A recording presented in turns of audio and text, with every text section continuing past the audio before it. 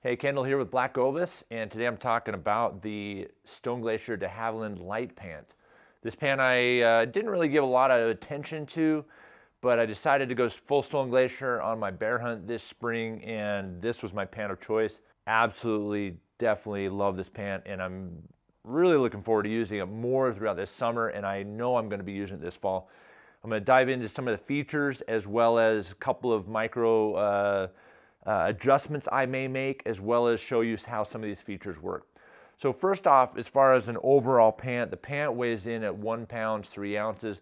It's a DWR treated 80, 89% nylon, 11% double weave spandex. And the double weave nylon spandex does decrease the weight than what they had used in their previous version, which is not the light pant, but the regular de Havilland pant, which does have a little bit of, uh, of uh, fleece on the inside. This is a good three season pant, and you could probably run it uh, all summer, especially thanks to the side zips, which I'll, I'll talk about here in two seconds.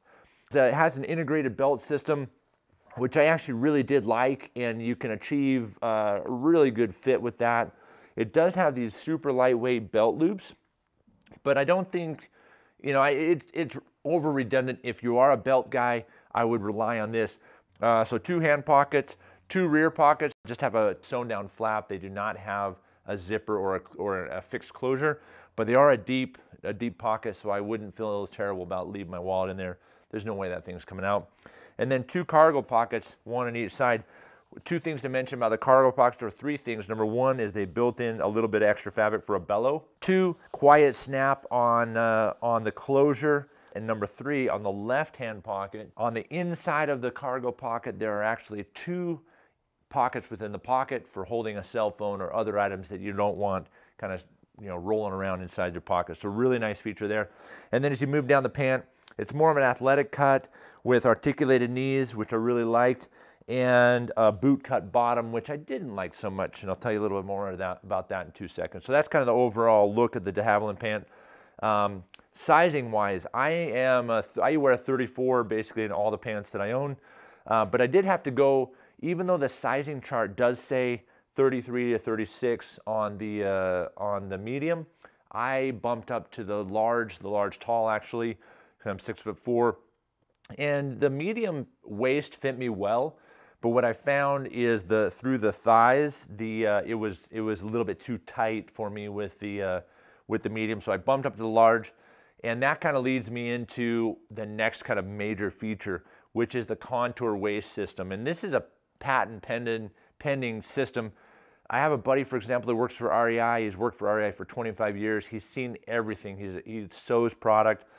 When he saw these pants and, the, and this contour zip system, he was absolutely blown away. It, this is something you've never seen before, and, and I don't think you'll see it since it because they've got it patented. But what it is, is the zipper system. You can, as you zip down the fly, you've got actually a Velcro system here. You, you can adjust the waist and basically that whole fit without having elastic or draw cord or whatever the case may be that you might try to, to create. This is, this is definitely out of the box and, and hats off to, to, to Kurt and the crew this is, uh, this is revolutionary. And what I found is this is actually better when you have on, is, is to unzip that, pull that over, and continue that process until you get that proper fit on the waist and through, through this, the mid area. So really interesting uh, waist system. And don't scoff at it the first time you do. That's what I, I kind of looked at it like, really? But after using it, um, I absolutely love it. And I'm, and I'm really grateful that I, I gave these pants a chance contoured waist system, really, really neat. The second major feature that's gonna stand out is the side zips right here. This is a 21 inch full length side zip. This goes basically from just under the pocket to about mid calf. This is called the Stratum layered zip system, which is a system that they've created that has their base layer, this pant and the rain pant all have the same zipper area so you can vent all the way down to the skin if you want to. Um, in using this pant in the field, I did find that I would actually zip down and up. It was rare that I zipped the entire pant, more so because just moving around on the mountain as we were looking for bears, glassing, moving to different locations. I mean, that was a ton. I mean, I really didn't need this much venting, but surprisingly, when I had it, you know, maybe zip down part way, or zip, when I would zip up, golly, it was super nice to get that ventilation down in that lower leg where you sometimes get a lot of heat. Definitely more robust than any of the other brands out there that I've seen that have that side zip venting option. Two other things I was going to mention is knee pads. This has an integrated knee pad sleeve. Um, I took the I took the knee pads out of my old Sitka pants, and I wear the large tall, so these are the large tall ones. The medium ones fit in there as well. It actually access. There's a sleeve in here you can actually, the pad goes up and then down into the pocket. And it actually is very nice having the zipper system because you can come in from the side and take care of that. As far as putting the knee pad in while the pant is on, still you can do that. A little bit difficult. I find it much easier to do that before you put the pants on. So knee pads is definitely a really nice feature. Stone Glacier does not make their own knee pads. The last thing I was going to talk about was, it's my only criticism really of the pant. It's an athletic cut but it's got a boot cuff uh, like bottom. And, and to me, that was, uh, was definitely bell bottom style. And maybe because I had to go from the medium really up to the large tall, I had my mom actually help me tailor these.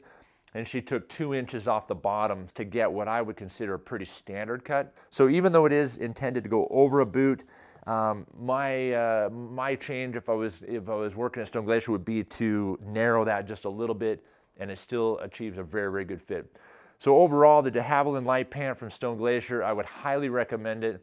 I am looking forward to getting a lot more field time with this pant, and I hope you'll check it out and give that a look as you consider what is a good, a really great actually, three-season uh, hunting pant for this year. Any questions about this pant or other gear from Stone Glacier, feel free to reach out to us via phone, chat, or email, and we'll see you next time on the next video.